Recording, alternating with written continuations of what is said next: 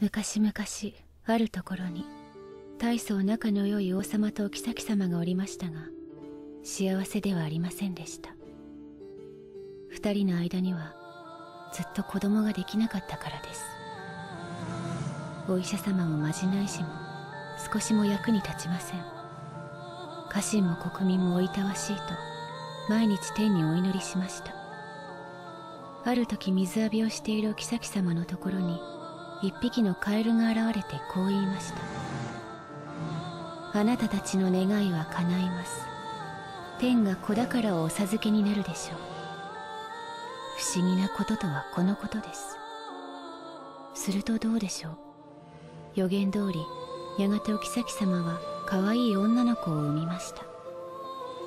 王様は大いに喜んでお祝いの宴会を開くことにしました。王様の演者ばかりではありません。国の内と言わず外からも大勢の客が後ろに招かれました。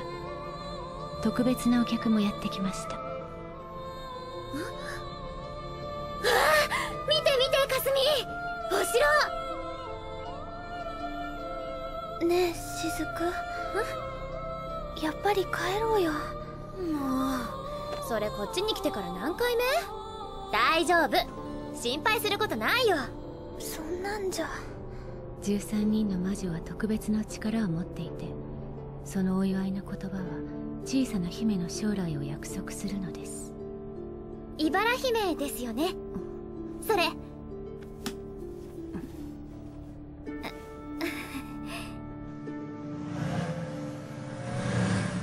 そうです。あなたたちの親権はとっくになくなっているんです彼が受けるべき当然の権利として私が代行して応募した結果彼が当選したんです。あ新しいイベント？